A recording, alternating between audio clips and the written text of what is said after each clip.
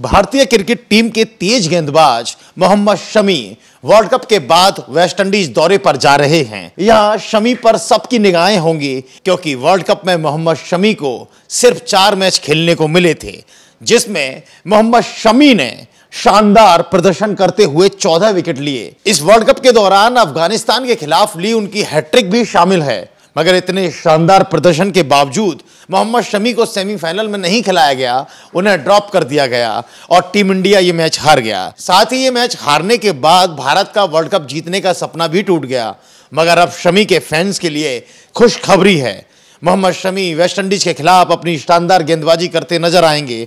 आपको याद होगा कि मोहम्मद शमी ने वर्ल्ड कप के लीग मैच में वेस्टइंडीज के खिलाफ चार विकेट लिए थे और मैच को टीम इंडिया की झोली में डाल दिया था। मतलब सीधा सा है कि टीम इंडिया के ये स्टार गेंदबाज हमेशा भारतीय टीम के लिए खरा सोना साबित हुआ है। मगर बीच बीच में मोहम्मद शमी की पर्सनल लाइफ, उनके क्रिकेट कैरियर में रोड़ा बनती रही है। हम बात कर रहे हैं मोहम्मद शमी की पत्नी हसीन जहाँ की, जिन्होंने पिछले साल एक के बाद एक कई संगीन आरोप लगाकर शमी के कैरियर पर अल्प विराम लगा दिया था। अभी हम कहीं ना कहीं देखेंगे तो हमें लगेगा कि बीसीसीआई उसे सपोर्ट कर रही है। तो किस चीज़ पे सपोर्ट कर रही है? भाई, हमारी इस लड़ाई में सपोर्ट कर रही है।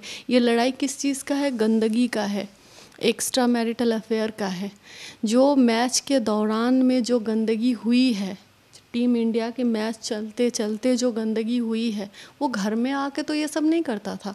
या जब आ, मतलब मैच नहीं चलता था वो घर में रहता था तब कोई प्रॉस्टिट्यूट को या किसी लड़की को ले जाके वो उस टाइम गंदगी नहीं करता था। किस टाइम करता था? जब मैच चलता था। यहाँ तक कि 2018 में मोहम्मद शमी को आईपीएल से ड्रॉप भी कर दिया गया था। तब लगा था मोहम्मद शमी का कैरियर पूरी तरह से खत्म हो जाएगा, मगर शमी ने सबको गलत साबित किया। उन्होंने अपने प्रदर्शन से टीम में जगह बनाई, मगर उनकी पत्नी हसीन जहाँ हमेशा शमी को लेकर विवादित बयान देती आई हैं। जब हसीन जहाँ न्यूज़ नशा के स्टूडियो में आई थी, तब हसीन जहाँ ने उनको लेकर कई चौंकाने वाले खुलासे किए थे। एक तरह से देखा जाए तो शमी के क्रिकेट कैरियर को बर्बाद करने के लिए उनकी पत्नी हसीन जहाँ से जो बन पड़ा उन्होंने किया, मगर शमी पर इन सब का कोई फ़र्क नहीं पड़ा। हसीन जहाँ की माने तो शमी विदेशी दौरों पर दूसरी लड़कियों के साथ घूमते फिरते हैं और इसकी जानकारी बीसीसीआई को भी है। शमी की पत्नी ने न्यूज़ नशा के स्टूडियो में अलीशा नाम की लड़की का ज़िक्र भी किया था और कहा था कि उनके पास अलीशा और शमी की चैट भी है। इतना ही नहीं, हसीन जहाँ ने मैच फिक्सिंग को लेकर भी काफ़ी कुछ कहा था। आज जो समी अहमद टीम में है तो वो भी मेरी वजह से ही है। अगर मैं चाहती कि वो टीम में ना रहे तो मेरे पास बहुत सारे ऑप्शंस थे। मैं कर सकती थी। बीसीसीआई ने एंटी करप्शन भी लगाया था। मेरे साथ भी पूछताछ हुई। बहुत सारी बातें हुई। तो अगर मैं चाहती, जिस तरह से मीडिया इस चीज़ को है मेरी जो रिकॉर्डिंग रिलीज़ करने पे, उसमें समी अहमद बता रहा है कि मैं मोहम्मद भाई के दिए हुए पैसे मतलब मोहम्मद भाई ने अलिशबा को पैसे दिए थे। वो पैसे मैं अलिशबा से लेने के लिए दुबई में रुका था। वो पैसे मैंने लिया था। ये रिकॉर्डिंग तो समी की थी। वॉइस तो उसका ही था, वो मैंने रिलीज़ किया।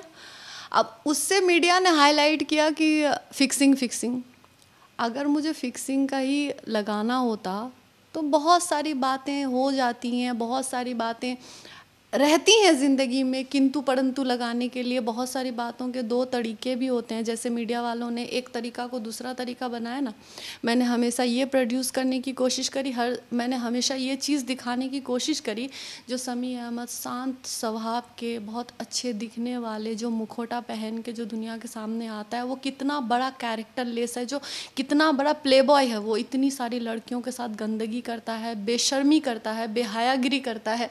ये मैंने दुनिया को दिखाने की कोशिश करी। मगर शमी के फैंस को इन सब बातों पर यकीन नहीं और ये सब वो पैसे के लिए कर रही है। दरअसल शमी के फैंस शमी को प्यार करते हैं और शमी ने कभी भी अपने फैंस को निराश नहीं किया। फिर चाहे वर्ल्ड कप हो या आईपीएल शमी जब भी खेले, शानदार खेले। उम्मीद है वेस्टइंडीज दौरे पर शमी शानदार प्रदर्शन करते नज़र आएँगे और टीम इंडिया का डंका वेस्टइंडीज में बजाएँगे। और आप हमसे जुड़े रहने के लिए सब्सक्राइब करें यूट्यूब पर फॉलो करें ट्विटर पर और लाइक करें फेसबुक पर। और ज़्यादा जानकारी के लिए न्यूज़ नशा की वेबसाइट पर जाएँ। आपको टाइप करना होगा सिर्फ़ न्यूज़ नशा